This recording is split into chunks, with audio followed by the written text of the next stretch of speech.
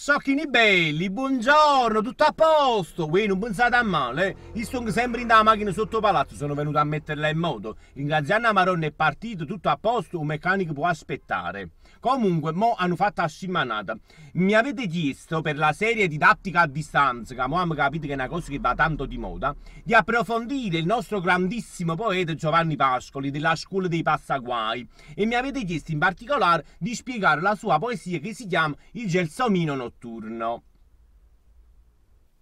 Allora, sciocchini carissimi, a proposito di questa poesia, voi mi dovete consentire, io devo fare una premessa doverosa e altrettanto importante. Io per carità non voglio offendere a nessuno, tantomeno voglio offendere la memoria dei defunti e lo spirito delle anime che non ci stanno più. Per me, per carità, Gianni deve stare in tasca dell'angelo. Isto con tutti i cherubini ci mancherebbe altro. Lungi da me l'idea di offendere la sua memoria. Però io so come siete fatti voi. Voi l'avete capito che tengo uscire, che mi esce facilmente la bocca perché non mi so tenere uscire in bocca, no? E a già dicere quello che penso. Ma se sta poesia a me e mi mettete in difficoltà a me. Io ma quello che devo dire lo devo dire. Eh.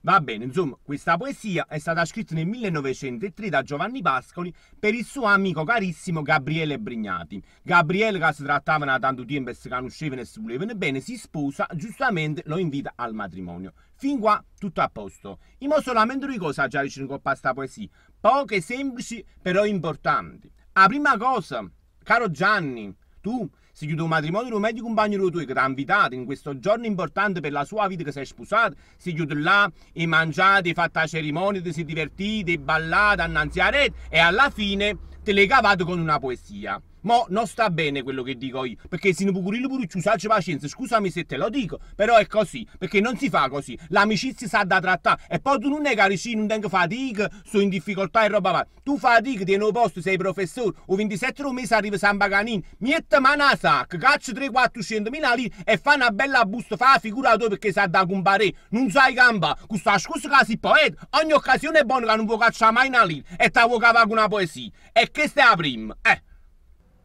La seconda ed ultimissima cosa che io devo assolutamente dire su questa poesia di Giovanni Pascoli del Gelsomino notturno, perdonatemi, è ancora più pesante, è ancora più grave di quello che ho detto prima. Patate perdonami, non voglio fare peccato. Ripeto, da stare a scrivere l'Angelis e tutti i cherubini, lungi da me l'idea, ma voi avete capito che questa poesia ha un argomento prettamente sessuale? E che argomento poi? Niente meno che la notte di nozze, la prima notte di nozze, lui racconta proprio l'amplesso che questo suo amico Gabriele ha avuto con la sua novella sposa.